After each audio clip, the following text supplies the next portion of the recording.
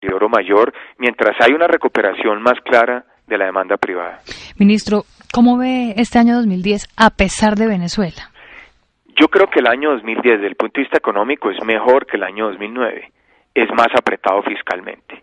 Y hay que reconocer que la tasa que hemos proyectado de crecimiento del 2.5 eh, pues es inferior a lo que va a pasar en el promedio de los países de América Latina.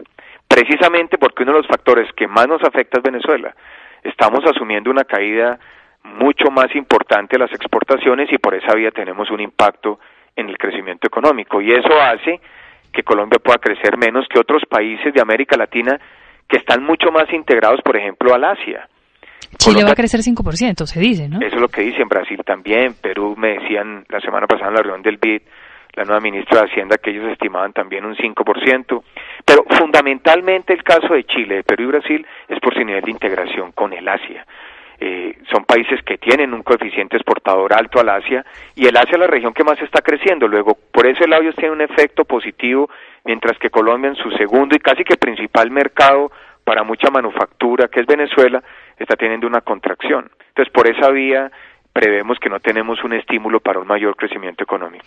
¿Qué sectores van a liderar ese, ese crecimiento? Este año yo creo que hay una recuperación de industria, de, de, comercio. Yo espero que se inicie con las cifras de, de noviembre que debe entregar hoy el, hoy el DANI, que esperamos sean positivas ya, y la construcción privada. La medida que ha sido muy exitosa de subsidio de tasa de interés para el crédito hipotecario, el efecto importante se va a sentir en el año 2010.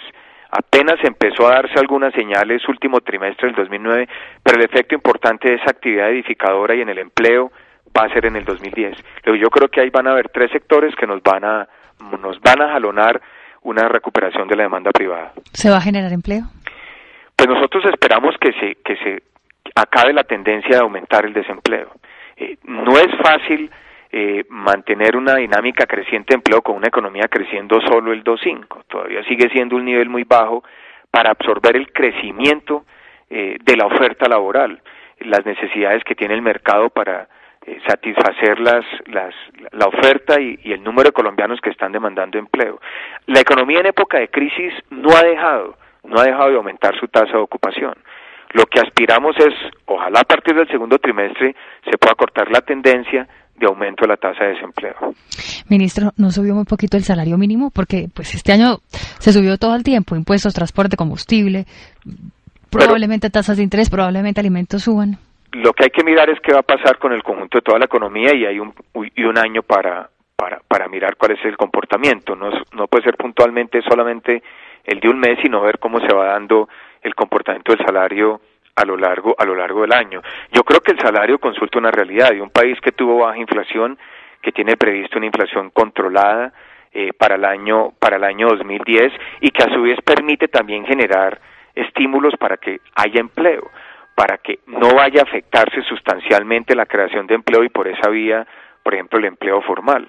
Luego, yo creo que el, el, incremento del salario es un buen balance que permite preservar poder adquisitivo de los trabajadores, permite, digamos, ser ajustados en el impacto fiscal que tiene para la nación, porque también tiene un peso los incrementos eh, del salario mínimo y a su vez al sector productivo le crea estímulos para que pueda mantener la competitividad en la creación de empleo.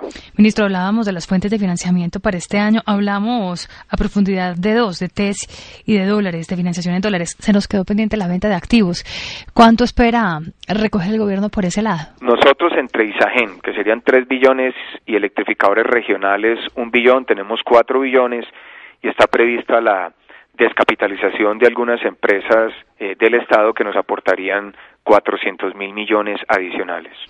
Eh, ¿Y Sagen sigue en, con las perspectivas de lograrla vender antes de junio? Sí, esa es una prioridad para el gobierno, es eh, una necesidad muy importante en el plan financiero y, y pues eso, digamos, hay conciencia de ello al interior del gobierno y más con esta situación que estamos eh, evidenciando hoy en día ante una caída de ingresos tan importantes es eh, muy importante la, la, la venta de, de Isagen y poder garantizar esos como mínimos tres billones que espera recibir la nación. ¿Cuándo vamos a saber los colombianos si Empresas Públicas de Medellín puede o no pujar por Isagen? Pues espero, espero que muy pronto, Paola, pueda haber ya señales concretas del, del Consejo de Ministros y poder tener certidumbre sobre el cronograma y las reglas de juego para su, su venta.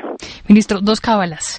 La primera, eh, ¿cómo podrían reaccionar los mercados si el presidente Uribe se reelige?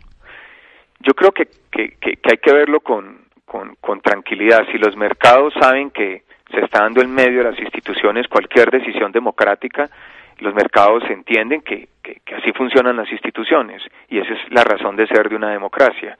Eh, y me parece que todas estas señales que estamos dando de actuar con mucha responsabilidad son, son una señal clara. El gobierno sabe que tiene un compromiso con la solidez de las finanzas públicas para garantizar preservar la confianza en nuestra economía y, y eso no está atado a ningún presupuesto en materia electoral. ¿Pero reaccionarían al alza por ser eh, un gobierno pro negocios o en su contra por una posible pérdida de, gobernabilidad? No, yo creo que, que, los mercados están tranquilos en la medida que todas las decisiones eh, de Colombia democrática se tomen a través de los canales institucionales y con los procedimientos que han determinado la Constitución y la ley. Esa es la premisa fundamental para que los mercados puedan estar tranquilos porque eso garantiza que las instituciones están funcionando y la Constitución opera. Si el presidente Uribe no va, ¿con quién reaccionarían mejor los mercados? ¿Con Santos o con Fajardo? Yo, Paola, no puedo hacer política, tengo que ser muy cuidadoso con eso y, y pues lo importante es que todos los candidatos puedan presentar unas buenas propuestas en, en materia económica. Por ejemplo, para nosotros va a ser clave el, el compromiso con la adopción de la regla fiscal, un trabajo que esperamos culminar en este primer semestre y que le va a significar a un nuevo gobierno, a un nuevo equipo económico, un, compromiso importante para garantizar su, su implementación y su cumplimiento. Ministro, la segunda cábala. Eh, ¿El dólar se mantiene bajo o repunta si llega a haber un cambio de administración? Eh, realmente es muy difícil. Yo creo que nadie puede predecir qué le puede pasar al dólar en, en ninguna circunstancia. Uno ni sabe qué va a pasar en una semana. Esa es una una variable muy difícil de, anticipar y de predecir. Y mire que el año pasado tuvimos una tasa de cambio alta y de un momento a otro se generó una presión relacionista muy fuerte hacia el mes de, de septiembre-octubre. Y nos tocó actuar, tomar unas decisiones. Es muy difícil. Ojalá uno pudiera tener una moneda moviéndose alrededor de un rango como lo estamos viendo, dos mil pesos, como lo estamos estimando en el plan financiero 2050. Eh, esa sería una buena señal y, en la medida que se pueda estabilizar en un rango de esos, podría ayudarle mucho a la economía. Ministro, ¿de emergencia social podemos hablar o, todavía eso está en secreto? Sí, realmente no, no, no podemos hacer anuncios todavía más allá de los que hemos dicho, con la convicción de que el gobierno pues eh, está firme con el tema de, de la financiación del no pos a través del IVA la cerveza y la y los juegos de suerte y azar Estamos discutiendo con los departamentos el tema de licores y de tabaco y pues esperamos e, esta semana que se cumplen ya los términos tomar las decisiones finales. Y en el tema de los juegos de azar también van a estar ahí eh, pendientes, ¿no? Sí, no, la decisión del gobierno es aumentar el IVA de una manera importante porque no hay otra fuente distinta para poder generar unos recursos adicionales que requiere la salud y la decisión del gobierno es hacerlo con eh, pues lo que se llama regularmente vicios o con este tipo de rentas que financian la, la salud y que creemos es mucho más equilibrado eh, y consulta mucho más la necesidad de financiar un tema como de la salud. Ministro, ya finalmente, ¿cómo le va en la presidencia del BID? Tengo entendido que mm, ahorita en Cancún hay reunión, ¿no? Sí, yo, yo creo que las cosas van muy bien, Paola. La reunión de la semana pasada avanzamos y acordamos el próximo 21-22 de febrero en Cartagena tener una reunión de gobernadores, de ministros de Hacienda, para tratar de buscar un acuerdo final antes de la reunión en Cancún en marzo, donde se estaría ya votando el, aumento de capital.